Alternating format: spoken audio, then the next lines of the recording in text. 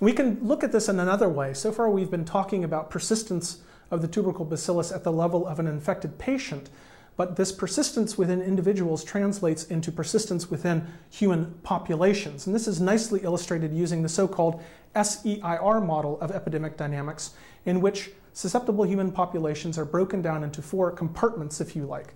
A compartment of susceptibles, that is, individuals who have not yet been infected but who could be infected. A population of exposed individuals, these are individuals who have acquired the infection but are not yet transmitting it. An infectious compartment, describing those individuals who both have the pathogen and are actively transmitting it and a recovered population, indicating individuals who have gotten over the illness and are no longer infection. Now, if we look at a typical acute and transient infection like the measles virus, which has been very well studied epidemiologically, what we can see is that the transit through these four compartments is very rapid and unidirectional. So an individual who is susceptible and becomes exposed to measles will incubate the infection for a period of about two weeks before he or she becomes infectious to others around them. That period of infectiousness lasts for only about a week or two before the individual either dies of the infection or hopefully recovers from infection. Transit through these compartments is unidirectional because the acquired immunity that develops during infection is solidly protective against reinfection. So if you've had measles once, you're not going to get measles again. In contrast, a persistent chronic infection like TB shows very different dynamics.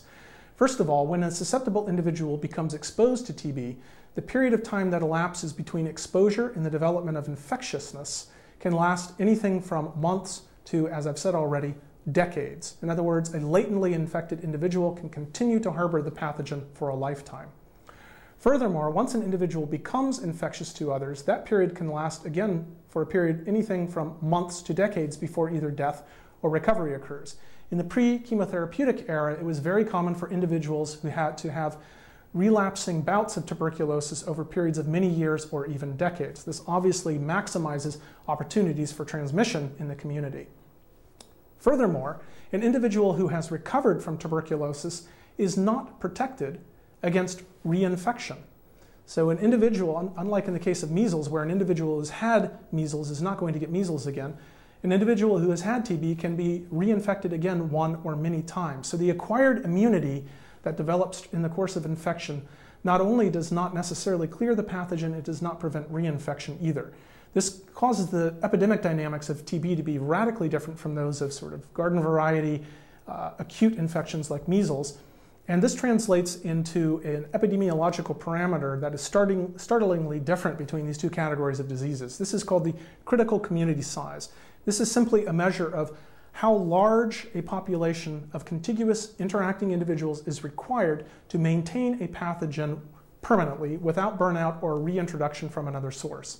In the case of measles, this number is about 300,000. In other words, a minimum population of 300,000 is required to sustain measles indefinitely without burnout or reintroduction.